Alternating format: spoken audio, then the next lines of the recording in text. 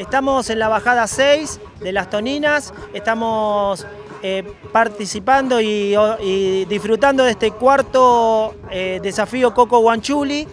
en honor a nuestro querido guardavidas ya desaparecido. Eh, es una prueba deportiva que involucra la parte de nadar, la parte de correr y también la velocidad de reacción, ya que tenemos una prueba que se llama banderas de playa y que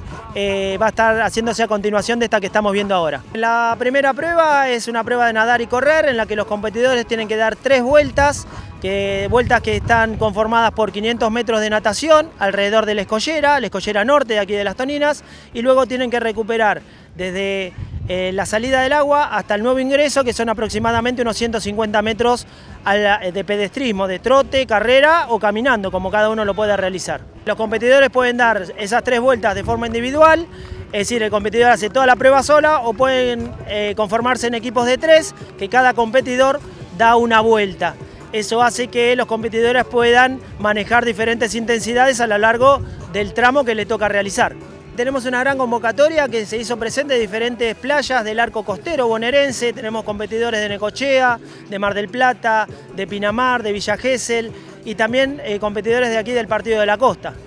La verdad que nosotros el objetivo de este, de este evento no solamente es la parte deportiva y la motivación a los guardavidas y a aquellos amantes de la natación en aguas abiertas que se mantengan bien entrenados para poder realizar sus tareas, sino también el recordar a nuestro querido Coco Guanchuli, que es eh, nuestro, nuestro prócer de aquí del partido, de, la zona centro del Partido de la Costa, guardavidas, que realizaba sus tareas en las playas de Santa Teresita y San Clemente. Él ya desaparecido nos dejó un legado de salud, de bienestar, y eso es lo que nosotros queremos de esta manera homenajearlo.